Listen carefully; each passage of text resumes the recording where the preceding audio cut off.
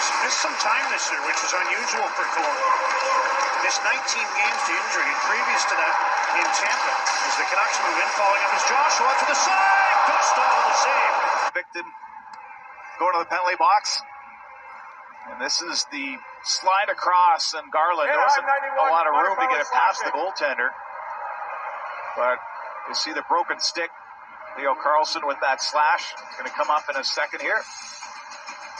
And this is right towards Dostal. Doesn't know where it is. It's underneath him.